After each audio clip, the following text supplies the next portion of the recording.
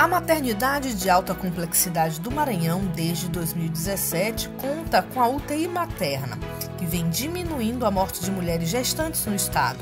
Aqui elas são recebidas por uma equipe capacitada com a ajuda de equipamentos modernos.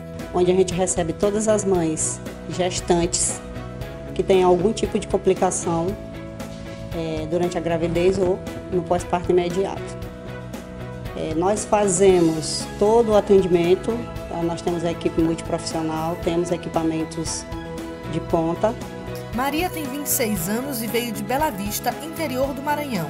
Teve que ser atendida às pressas, pois apresentava convulsões.